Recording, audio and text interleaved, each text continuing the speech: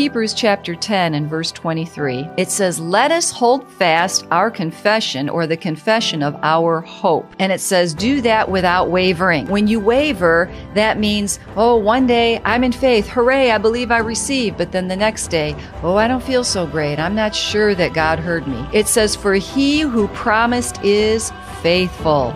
God is faithful.